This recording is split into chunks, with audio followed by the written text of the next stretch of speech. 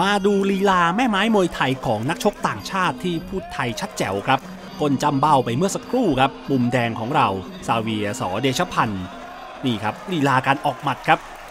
ทำมุมน้ำเงินลงไปโดนนับเลยครับศิลาเพชร ป.เพชรไข่แก้ว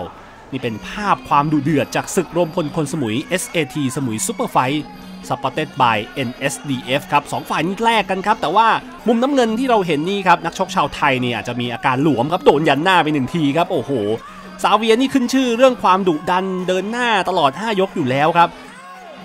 หลังๆนี่ชักจะแลกศอกกันเป็นหลักศอกซ้ายศอกขวาขวาทีซ้ายทีครับใครคมกว่าคนนั้นเข้าเป้านี่ครับเต็มๆเลยครับโอ้โหจามด้วยศอกขวาครับ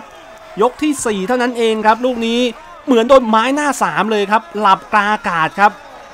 ศิลาเพชรโอ้โห แล้วก็ซาเวียดูครับ วัฒนธรรมไทยครับ ลงไปขอโทษทีหนึ่งก่อน เป็นผู้ชนะไปในไฟนี้